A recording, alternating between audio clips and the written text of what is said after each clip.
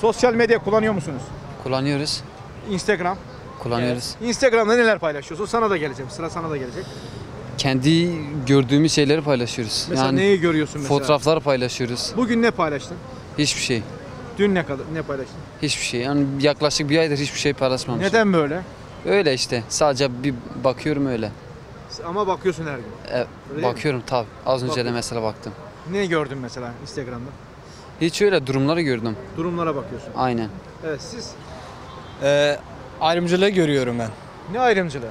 Kürt-Türk ayrımcılığını görüyorum. ben. Instagram'da. Evet. Her yerde Instagram tek değil.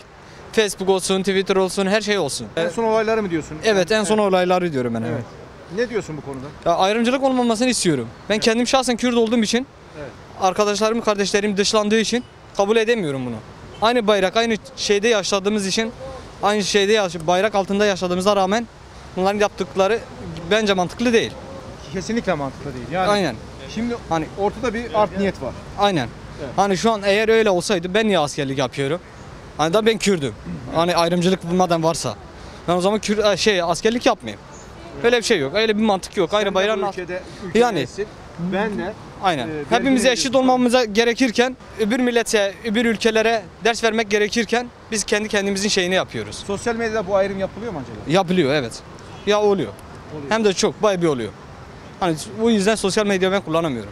E, Sinirlerin bozuluyor diyor. Evet. Ben sadece bir WhatsApp kullanıyorum o da başka bir şey de kullanmıyorum. Anladım. Gerek yok. Sağ olun bir şey değil.